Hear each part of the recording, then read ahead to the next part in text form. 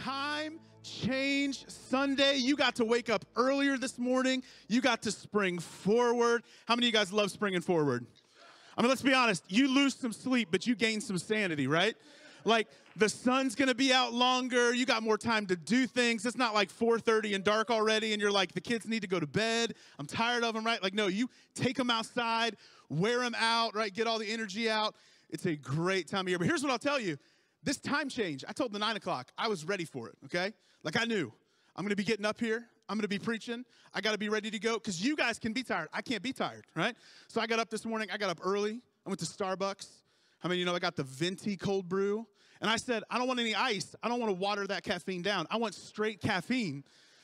So here's what I'll tell you. Every time I'm overly caffeinated, my wife tells me there's two things that happen. Number one, I get sweaty. Welcome to the party. I sweat all the time, all right? I'm a big fella. That's just normal for me. Second thing is, I talk pretty fast. So if you're taking notes, and I hope you're taking notes, get ready for your hand to hurt, all right? It's gonna be like middle school again, where you're just like writing in that little notebook and you can't handle it. It's going to be good, all right? So today, we're in part two of a series that Pastor Lance kicked off last week called Miracles. And what we're doing is we're kind of taking this journey through Easter Sunday and we're looking at how can we expect the unexpected. We're looking at the life and ministry of Jesus. And so we're going to go all the way up to the tomb, into the resurrection. But today, we're a little further back in the book of Mark. We're going to be in Mark chapter 2 if you've got a Bible with you this morning. And what we're going to do, uh, we're going to read a few verses together, pray, jump right in, pull some awesome stuff out of it. So, Mark chapter 2, starting in verse 1. Mark writes this. He says, When Jesus returned to Capernaum several days later, the news spread quickly that he was back home. Now, Capernaum, you know, Jesus wasn't born there, but this was a, a kind of home base for Jesus throughout his ministry. He would return often to rest, to just recalibrate, and then get going again. And it says in verse 2 Soon the house where he was staying was so packed with visitors that there was no more room even outside the door, right? So this is one of those things where he's there, it's so busy that not only is the house packed, but they have to have like a party on the patio because there's so many people. And it says this, and continuing verse 2, it says, While he was preaching God's word to them, four men arrived carrying a paralyzed man on a mat. They couldn't bring him to Jesus because of the crowd, so they dug a hole through the roof above his head. Homeowner's probably not too happy, right? Then they lowered the man on his mat right down in front of Jesus.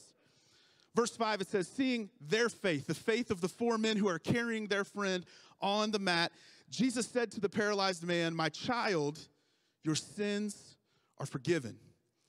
But some of the teachers of religious law who were sitting there thought to themselves, and notice they're thinking, they're not saying it, they're just thinking. They say, What is he saying?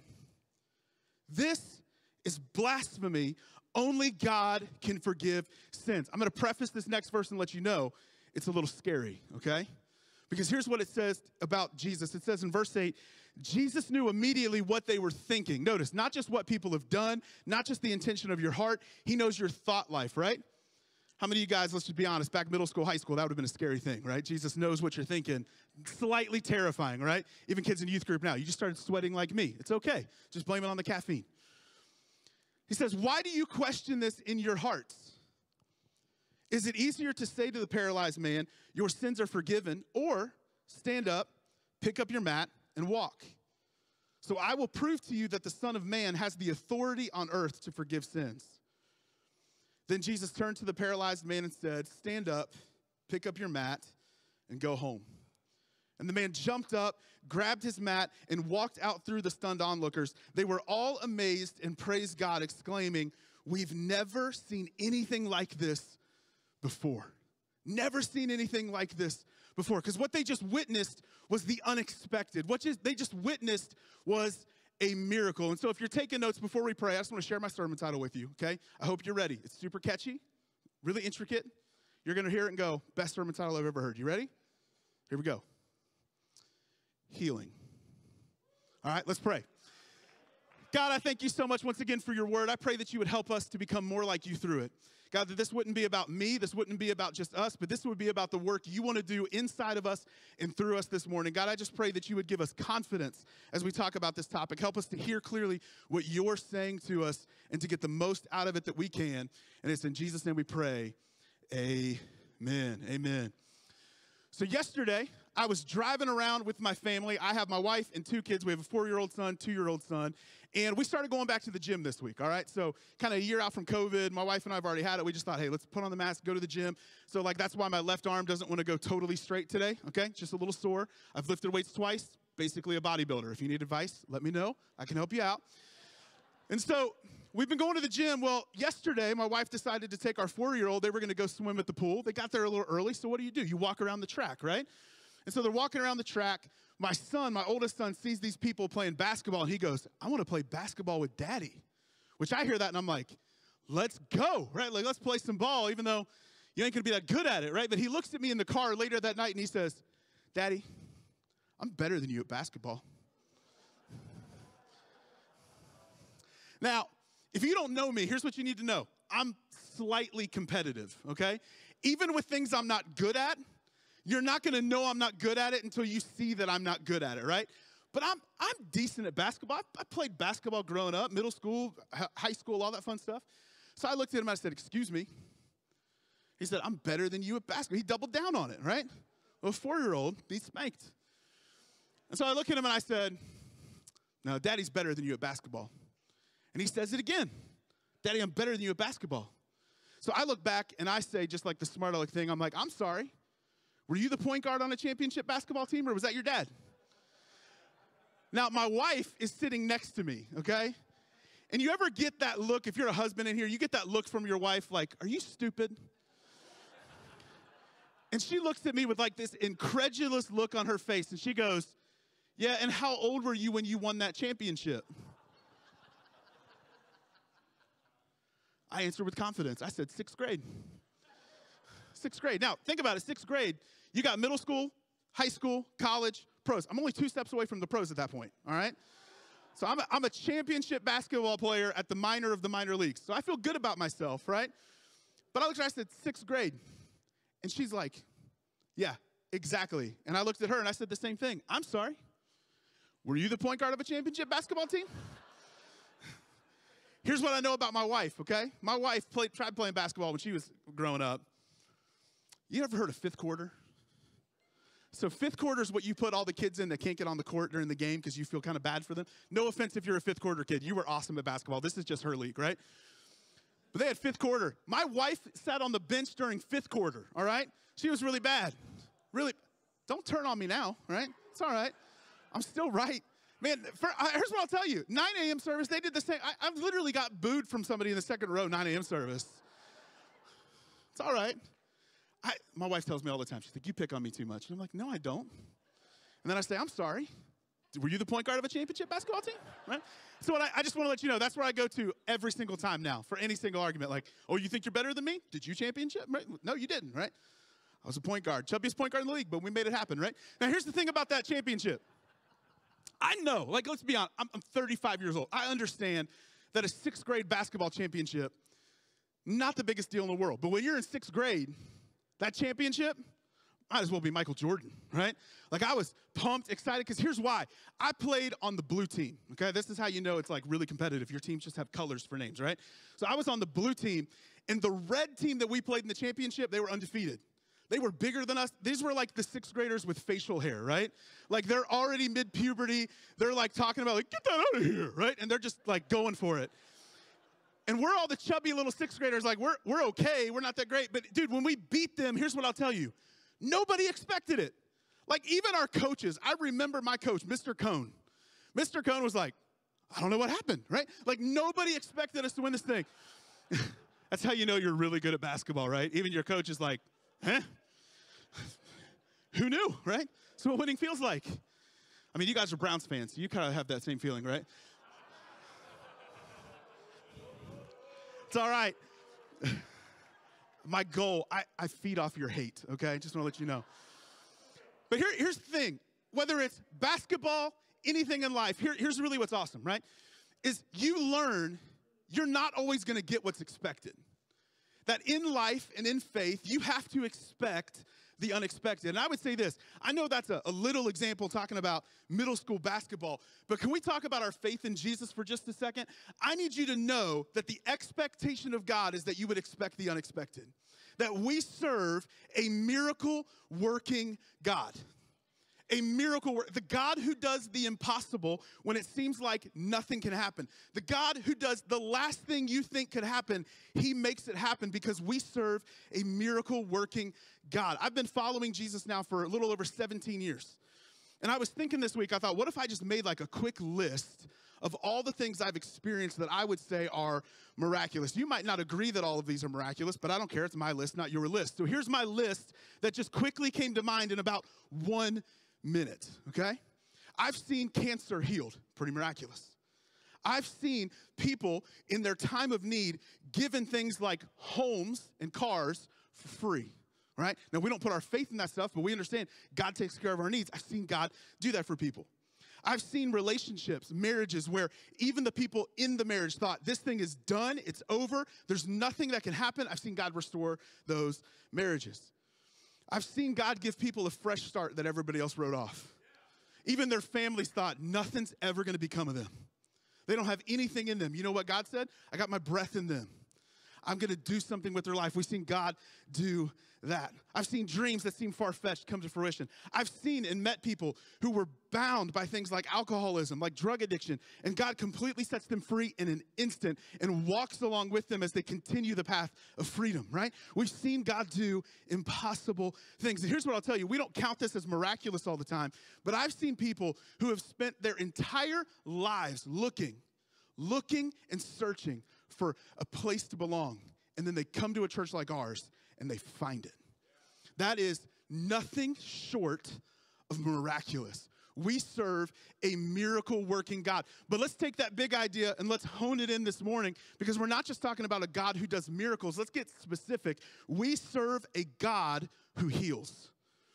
We serve a God who heals. Notice I didn't say that used to heal or maybe just maybe heals but we serve a God who heals. Notice what Jesus says about himself. He's in the temple in Luke chapter 4, and this is kind of like when he announces his arrival, right? This is like one of the big first public declarations that he makes about himself. He says this it says that the scroll of Isaiah the prophet was handed to him, him being Jesus, and he unrolled the scroll and found the place. Notice he, he was intentionally looking for words to describe himself. He didn't just hope that he found something good, he didn't just open up the scroll and go, there, right? No, he, he found it, and here's what it said. Says, The Spirit of the Lord is upon me, for he has anointed me to bring good news to the poor. He has sent me to proclaim that captives will be released, that the blind will see, that the oppressed will be set free, and that the time of the Lord's favor has come. Jesus is saying, Since I've come, things are about to change. And then notice in Luke chapter 7, just a little while later, John the Baptist, his cousin, is in prison. And John had spent his life dedicated to getting people prepared for Jesus to come. But as he's getting ready to lose his life, he starts to have some doubts. Doubts are okay for a follower of Jesus Christ, okay? He starts having some doubts. And so he gets some of his disciples and he says, Hey guys, I need you to go to Jesus. Just, can you just double check with him? Can you just ask him again, like, are you the one that I've given my life for? And so John's disciples go to Jesus. They start asking him questions. And it says this in Luke 7, verse 22. It says, He told John's disciples, Go back to John and tell him what you have seen and heard. Now, I love that because when he's telling them to go back and tell him what they've seen and heard, he's saying, I don't want you to tell John what you think you know about me. I don't want you to tell John what you hope is true about me. No, I want you to tell John what you've actually experienced that you've seen these things, you've heard these things, you've been present for them. Here's the things they saw and that they heard. He says, The blind see, the lame walk, those with leprosy are cured, and the deaf hear. The dead are raised to life, and just to top it all off, the good news is being preached to the poor. In other words, here's what Jesus is saying. If you want to know if Jesus is the real deal, look at what he can do. Look at what he's done. Lean into the testimonies of other people. Like when people last week went into the, the hot tub baptismal tank, which has to be the best baptismal tank, right? Like it's a hot tub. You're, you're feeling good afterwards, right? Muscles are limber, you're good, right? You hear their stories though, and you go, this is what it's all about. Like God healing, restoring, changing minds, changing lives, God making people whole. And the encouraging thing about the baptism is it reminds us that still, it's not that just we serve a God who heals, but that Jesus still heals. He still takes people who are broken and makes them whole. He takes people who are emotionally broken and brings completeness to their mind. He brings completeness, a wholeness to their life, whether it's physically or spiritually. Jesus still heals people. This is why it's so important for us to really dive into verses like Hebrews 13 8, where it says that Jesus Christ is the same yesterday and today and forever. Because I love this. An author I was reading last week, he said, Jesus never gives us an exercise in futility. He doesn't say things like, Jesus Christ is the same today, just kidding. Jesus Christ is the same today as he was yesterday. Not really. He healed then, and we'll see if he can do it now. No, the claim is that Jesus is the same today as he was when he healed the man on the mat. That Jesus can do the impossible. And so here's what we're going to do this morning in the next 15 minutes or so. All right? Good luck. Uh, just kidding. You guys are like, huh? That's my secret way of saying you like, we'll see if we go 15 more minutes. But that's all right. We're going to go back to Mark chapter 2. We're going to pull some truth out of it. Because here's, here's my goal for today. What I'm hoping we can accomplish as we talk about Jesus and healing is that you would walk away with a couple of things. Number one, with a confidence in the fact that Jesus can still heal whatever ails you today. But I also want you to have some confidence, some understanding of just what this looks like, what it is that Jesus does in a life. Because, spoiler alert, Him healing your body while it's awesome is not the most important thing. And so here we go. Back to Mark chapter 2. First thing you need to understand is this if you're taking notes, is that Jesus will give you what you need even if it isn't what you want. Jesus will give you what you need even if it isn't what you want. In other words, sometimes that thing you ask for that you think you need, Jesus says, Nope, got something different for you. Got something better for you. Jesus will give you what you need, even if it isn't what you want. So now let's let's do this. Let's step into the account this morning. These four men, can we just put ourselves in their shoes for a second? These four men have a friend who is paralyzed. He cannot move, cannot walk. He relies on them for everything. And so, if you're one of these four friends, think about everything you did that day to get your friend to Jesus. You got three other people. You each grabbed a corner of the mat, an end of the mat, and you carefully went to the place where Jesus was, right? You're not walking real hard. You're not jostling this guy around. You're not setting it down for a second so you can wipe the sweat off your brow. No, you're, you're carefully walking to the house where Jesus is. Then you roll up, and it's like Cracker Barrel on a Friday night at 4.30. It's packed, right? People are outside playing checkers. You can't get in if you want to. And so they show up to this house, it's slammed, and they go, Well, what do we do now? They can't get in the front door. I'm guessing they probably tried a window because the logical jump is not the door is full, let's just go to the roof, right? There's usually a couple steps in between that. And so eventually they get this guy to the roof and they decide, what are we going to do now? We're going to remodel this place. Is it ours? Nope. Do we care? Not at all. So they get up on the roof. They tear a hole in the roof. Homeowner's probably not too thrilled. They lower him carefully down, right?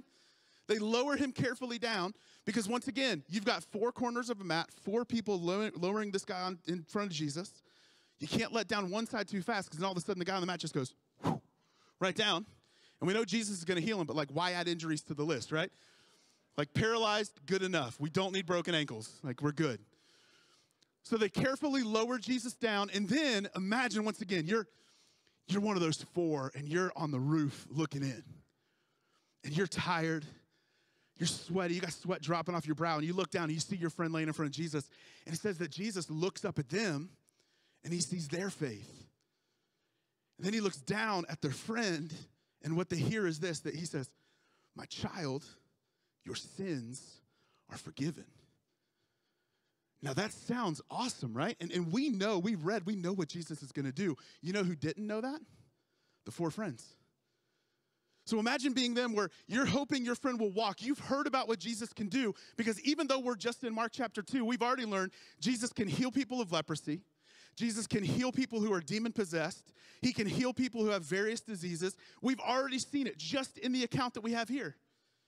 And they hear, Your sins are forgiven. If I'm one of the friends, here's what I'm thinking. Cool, cool, cool, cool. Um, glad, glad that, that that's awesome. Um, not on the map by choice. Like he can't he can't walk, just in case you didn't know. Maybe needs more than that. Right? Think about that. The tension of that, the disappointment of that. But here's the thing Jesus will give you what you need, even if it's what you want. He's gonna give you what you need, even if that's not what you came for. You might have, let's think about this. You might have come to church one time thinking, I'm just gonna go because somebody's cute and they invited me. And then you end up starting a relationship with Jesus, and the relationship with her or him doesn't work out. He gave you what you need, but it wasn't necessarily what you wanted. Because Jesus, here's the thing His greatest miracle is not healing your body. His greatest miracle is not just healing your mind. Jesus' greatest miracle is saving you from your sins. His greatest miracle is taking you from death to life, saving you from your sins. And here's why it does you no good to have a whole body that spends eternity in hell. It does you no good to walk up to hell one day and you just like feel the heat getting hotter and you just walk in and be like, I know it's hot in here, but bro can walk, right? It doesn't matter because you're spending eternity separated from God. What matters most, what you need, is to be saved from your sins.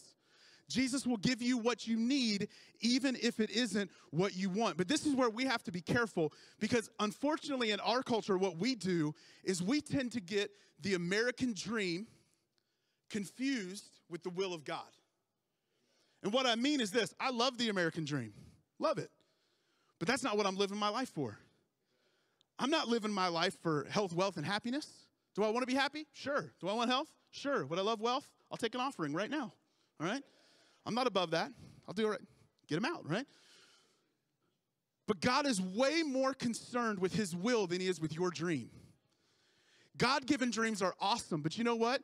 God's not asking you to live for your dream. He's asking you to live for His will and towards His will. He wants you to follow Him with everything you've got. And the hard part for us we need to realize is this Jesus is not a genie.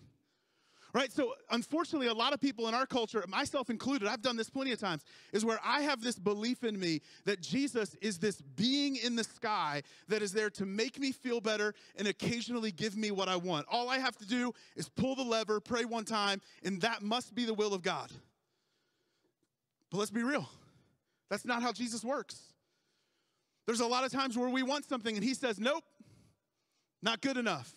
That thing you want is gonna keep you from me, not giving it to you. That thing you think you need, that's not real. You don't really need it. Jesus isn't there to give you three wishes and go back in the bottle. He's there to walk with you for the rest of your life and into eternity. And so he's not concerned with just making your body whole, although that's important. He wants to save you from your sins. Jesus will give you what you need, even if it isn't what you want. Which leads us to our second point this morning, and that's that Jesus wants to reframe your reality. Jesus wants to reframe your reality. Here's what I mean by that. In my office at home, I've got an attic, an office in it where I work for my other job, try to get stuff done because, once again, I have a four year old and a two year old working at the kitchen table not a thing, right? It doesn't exist because they're going to end up coloring all over my Bible, right? I've got stickers in some of my Bibles, guys, all right? So I go up to this attic. In my attic, there is a tube that is sitting against the wall behind my desk, and it's got a signed picture of Maurice Clarett running in a touchdown the year the Buckeyes won the championship. That's an awesome picture, right? He signed it. That makes it even better. But you know what's not awesome? It's just sitting in a tube. Nobody sees it. If you walked in that room, you'd have no clue it's even there. Right? When you reframe something, you're seeing it differently. When you reframe something, you're allowing the value to be seen in it because now it's on display. Here's what Jesus wants to do He wants to take your normal day to day life and help you see it differently. He wants to take everything you experience, everything going on in your life, whether it's your marriage, whether it's your friendships, whether it's your health, your emotional well being, whatever. He wants to help you see it differently. He wants to reframe your reality. So here's what we have in Mark chapter 2, verse 5, we see Jesus tell the man who's on the mat, Son, child, your sins are forgiven. But once again, this place is packed, right? So it's not just Jesus, this man, and the four dudes up top on the roof that need to pay for it now. This is a room full of people, people outside looking in. And in that room, there are some teachers of religious law. Now, these people, think about it from their perspective.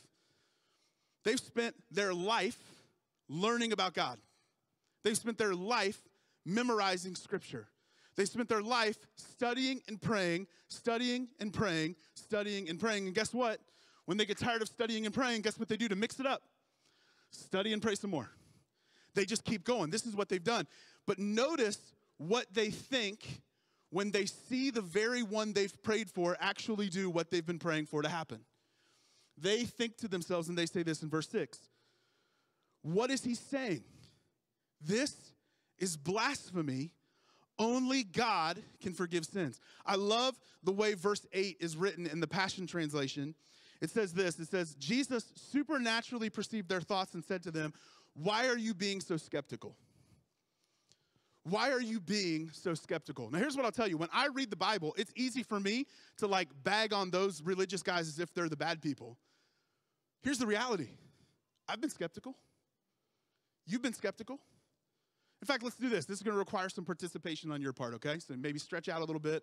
Don't want you to pull a muscle. Once again, championship weightlifter here. I've done it twice, just giving you some advice, all right?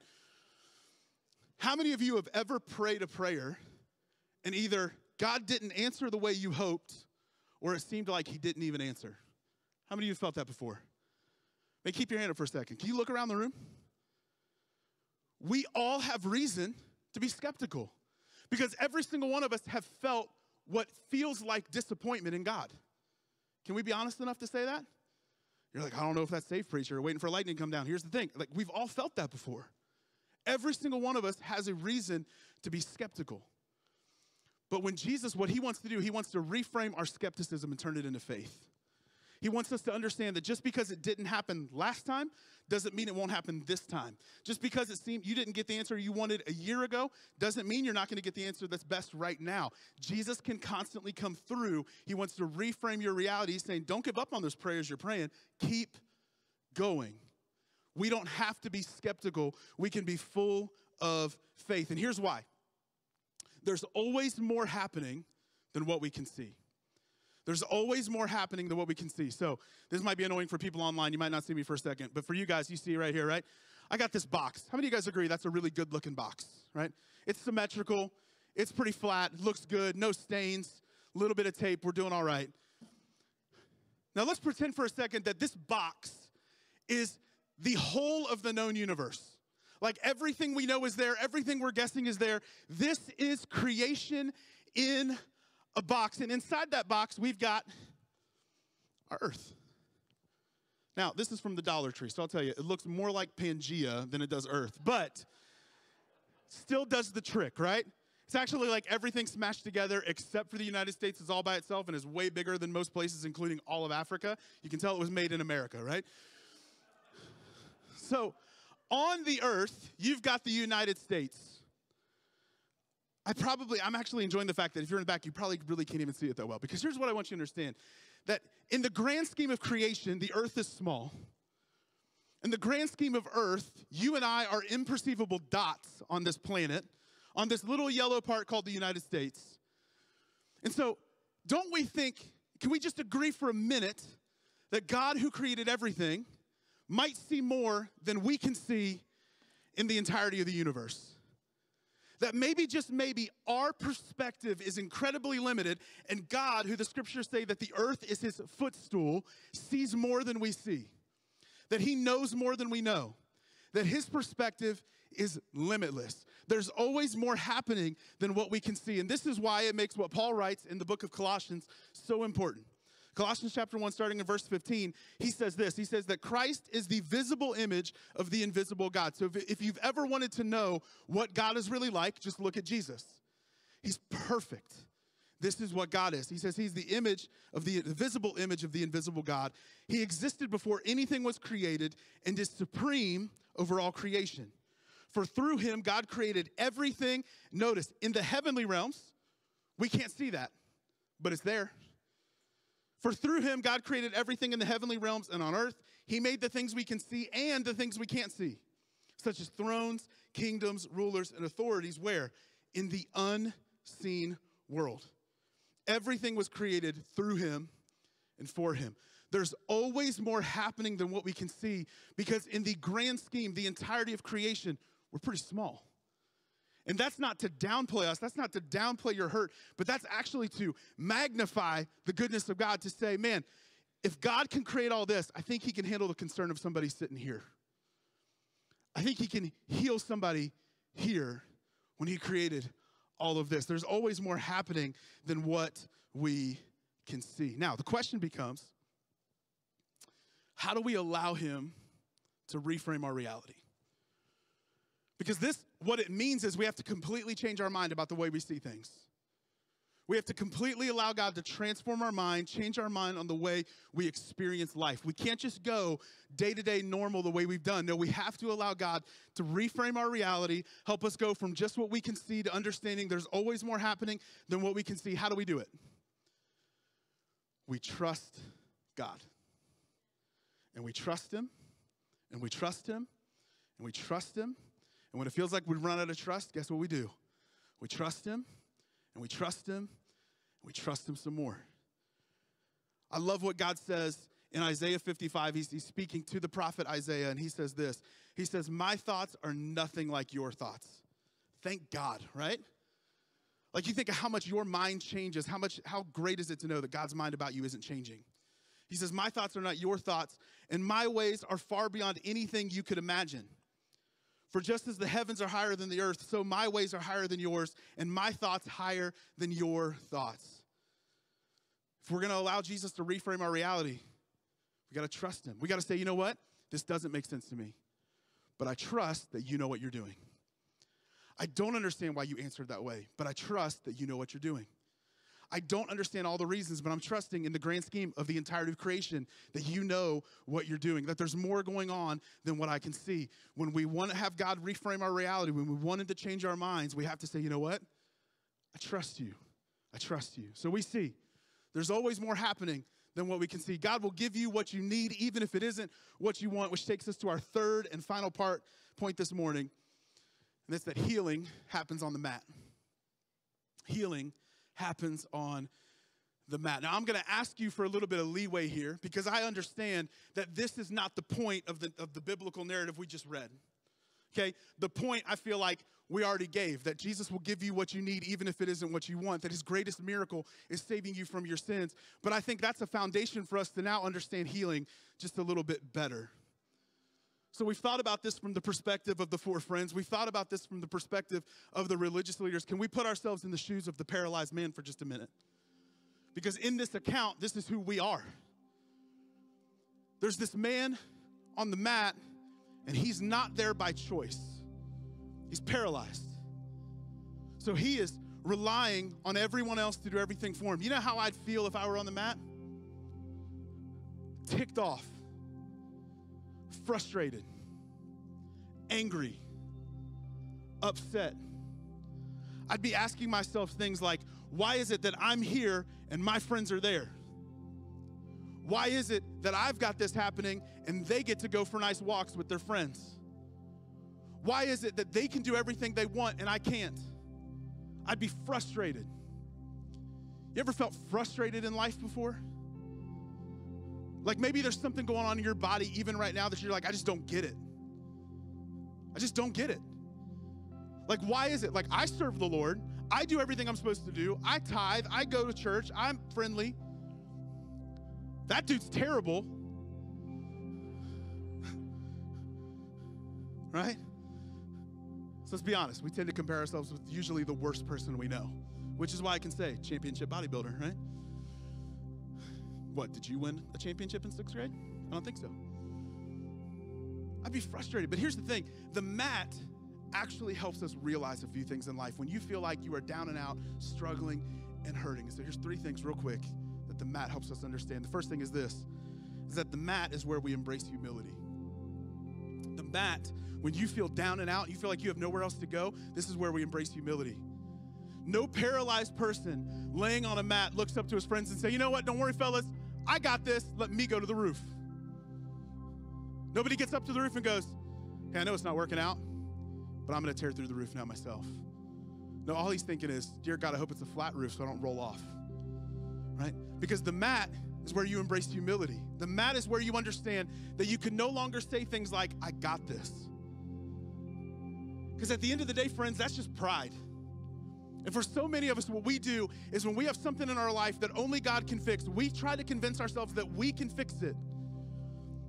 And the mat is a gift because it's a reminder that no matter how bad things are, if I'm humble enough, God can work with me. In fact, it says this in James 4 6. It says that God opposes the proud. In other words, sets himself against our pride, like actively combats it and fights against it. He opposes the proud, but gives grace. Another translation says, shows favor to the humble. So our pride, God opposes us, and our humility, God says, let's go. He gives grace, He shows favor to the humble. Where do you need to inject some humility into your pursuit of God? Second thing we see about the mat is this is that the mat is where we realize we need each other. The mat is where we realize we need each other. Once again, you can't say, I got this. You need those four friends that are going to carry the mat. I love where it says that Jesus saw their faith and then said to the man, Child, your sins are forgiven. Notice, it wasn't the man's faith on the mat. You might feel like, I don't know if I have enough faith right now. You don't have to. Are you running with faith filled people? Do you have people in your life that will pray for you when you can't pray for yourself? Do you have people in your life who are going to support you when you feel like you have nothing to give? Because that's the test of a friendship, right? It's not when it's mutually beneficial. Friendship is really tested when I don't have anything to give you, and yet you're here anyways. It's where we realize we need each other. And here's what I'll tell you there are a lot of things that I think the past year have shown us that are great things. There were some gifts in the past year for some of us here. But one of the things that came out of this past year that's scary to me is there are many of us who already felt like we could kind of do this thing on our own who are just further entrenched in that now. That you figured out, man, I, I can have groceries delivered. I can watch church online. I don't have to leave my house. I could wear a button up shirt and sweatpants and nobody knows. Here's why that's scary because we need each other. And hear me, once again, if you're at home for your health, that's awesome. If you're home out of habit, time for a new habit. We need each other. It is in our DNA to need other people. We could never think for one second that we can do life on our own. So, who do you need to be praying for? Who do you need around you to be praying for you? This might be a great time to evaluate who you're running with. Third and final thing we see about the mat is the mat, I love this, becomes the story you tell. The mat, you at your lowest point. The mat, the time where you feel like you have nothing to give the mat, the time you want to push through, becomes the story you tell. The thing in your life right now that you just wish was over, can I tell you? Oftentimes, Jesus doesn't want to save you from it, He wants to save you through it.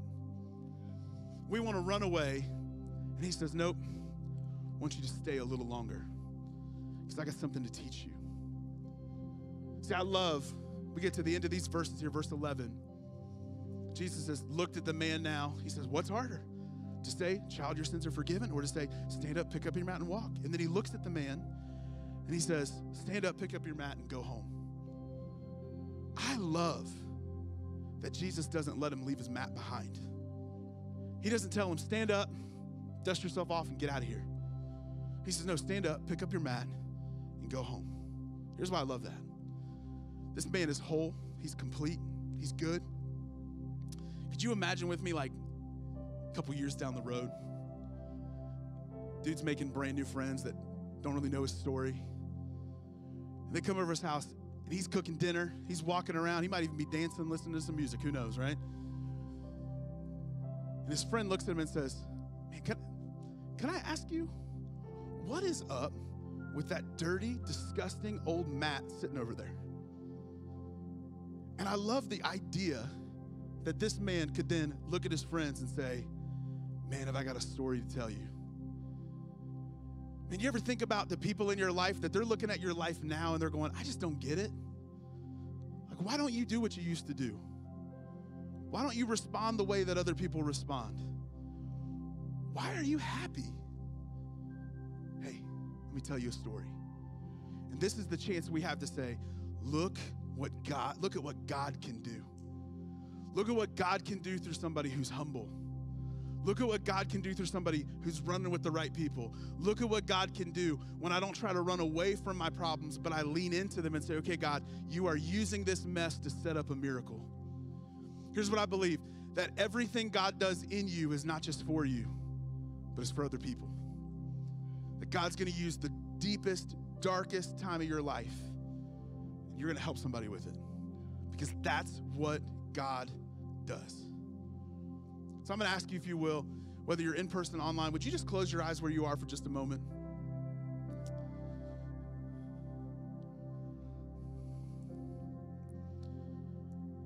I want to tell you this morning, whatever it is you got going on, maybe you need physical healing in your body.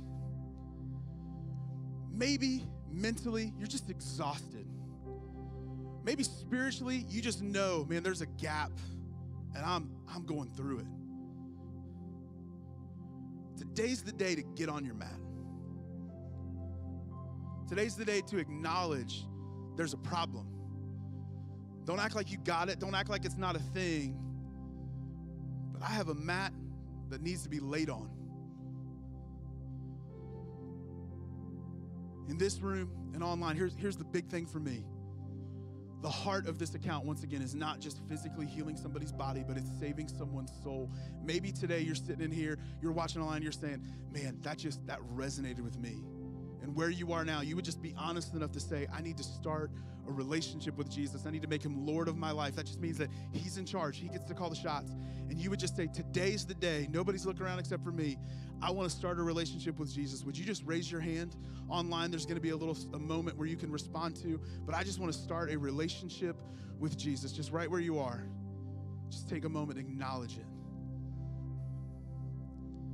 For the rest of us in here, I can't encourage you enough. Let's be specific with God for just a moment as we pray. To say, God, this is what's going on. Let's acknowledge it and get on the mat this morning. Jesus, I thank you once again for every single person in here. God, I pray that you would help us to be honest with our struggle, honest with what we're processing, honest with what we're going through. Jesus, help every single one of us to trust you more than we trust ourselves. Help us to allow you to reframe our reality, to see things differently. And ultimately, God, help us to be people who don't run away from the struggles in life, but we understand that our struggle is setting us up for a story and that you're worth following. Jesus, once again, we love you, we thank you, and we affirm our trust in you.